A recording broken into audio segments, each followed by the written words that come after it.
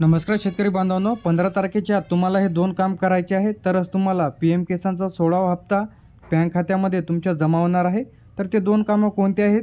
त्यानंतर कोणत्या शेतकऱ्यांना पी एम किसानचा लाभ इथं मिळणार नाही? तर आजच्या व्हिडिओमध्ये संपूर्ण माहिती पाहणार आहे. तर व्हिडिओला स्किप न करता शेवटपर्यंत बघा. तर ज्या शेतकऱ्यांची राज्यभरातील चार लाख शेतकऱ्यांचे जे काही के वाय सी आहे ते अधिकही राहिलेले आहेत. तर अशा शेतकऱ्यांना पी एम किसानचा सोळावा हप्ता इथं जमा होणार नाही. त्याचप्रमाणे नमोचा दुसरा हप्तासुद्धा त्यांना आता मिळणार नाही आहे. तर के वाय सी करण्याची जे काही तारीख आहे तिथं वाढवण्यात आलेली आहे. तर पंधरा जानेवारीपर्यंत यांना मुदतवाढ करण्यात आलेली आहे. जर तुमची के वाय सी केलेली नसेल तर तुम्हाला पी एम किसानचा सोळावा हप्ता इथं मिळणार नाही. तर लवकरात लवकर तुम्ही तुमचे जे काही के वाय सी आहे तिथं करून घ्या.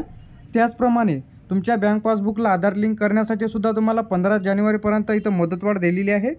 तर तुमच्या बँक पासबुकला जे आधार लिंक असेल अशा बँक खात्यामध्येच तुमची पीक विम्याची जी काही रक्कम आहे त्याचप्रमाणे पी एम किसान आणि नमोचा हप्ता जमा होईल. तर पी एम किसानचा जो काही सोळावा हप्ता आहे जे तुमच्या बँक खा पासबुकला आधार लिंक असेल तर अशा बँक खात्यामध्ये तुमचा सोळावा हप्ता जमा होईल. तरीसुद्धा काही अडचण जात असेल तर कमेंट बॉक्समध्ये नक्की सांगा.